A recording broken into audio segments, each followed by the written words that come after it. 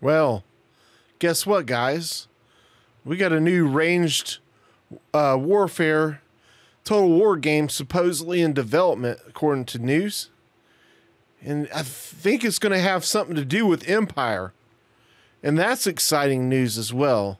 Because, you know, we've all been clamoring for another Empire Total War game, uh, a remaster, uh, Empire 2. You know, they're the, you know, take your pick. We've been wanting an Empire game, but it might not be the type of Empire game you were necessarily interested in after all. Yeah, that's right. Star Wars Total War game rumored to be in development. Now, this was three days ago, and I've been pretty darn busy, so I, I didn't even see this come across.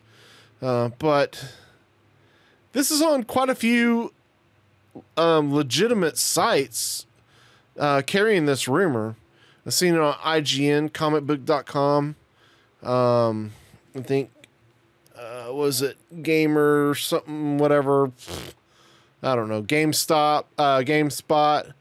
So several pretty big, big time uh, web channels have uh, been carrying this article.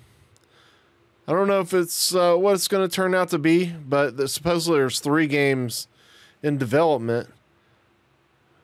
But I wouldn't get your hopes up for the kind of empire we were wanting. Uh, I really wouldn't.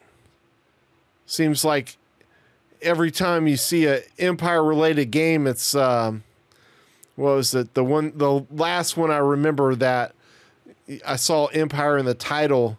It was a Rome two uh, DLC. Yeah, we always get an Empire, just not the one we're looking for. Anyways, I know this is a quick little thing, but just thought I'd say that. I thought it was kind of funny. I had a kind of laugh over it. You know how it is, guys. We'll see what happens if it comes to be or not, but does it really matter? I don't care. I'm losing faith in Total War. I'll just play the old games. Then I'll wait and see if it's decent enough to buy maybe get it on sale for super cheap on a Steam sale. That's all I got, guys. I'll leave it at that.